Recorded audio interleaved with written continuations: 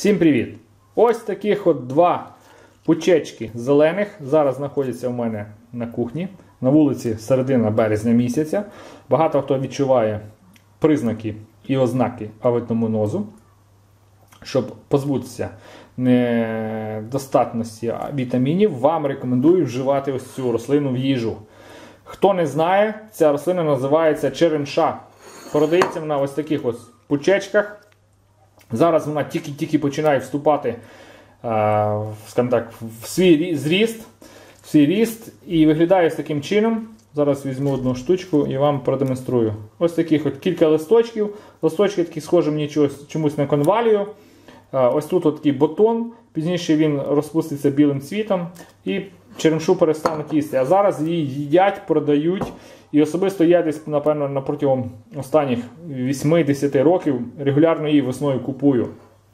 Черемшу їдять в основному сирою, тому що готувати і вбивати в ній вітаміни, в принципі, якось я рахую, що це взагалі нонсенс абсолютний.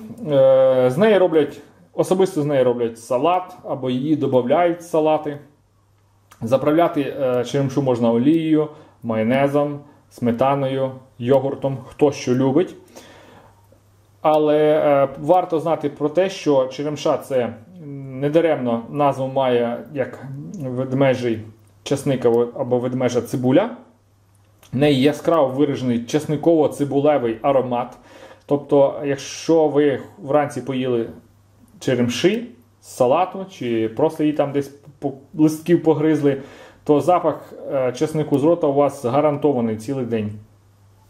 Це така особливість. І ще плюс не можна зловживати черемшою, багато її споживати в їжу, тому що ніби вона якось там впливає на організм, так само, як чесник. Тобто зловживати черемшою не потрібно.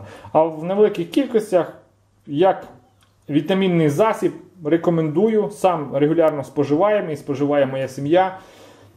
Перша зелень, дикоросла зелень це просто бомба. Тому будете на базарі, зверніть увагу на людей, які стоять за такими от букетиками в лапках. І купляйте собі черемшу, їжте перші вітаміни весняні. В принципі, це все. Дякую, що дивились. Побачимось.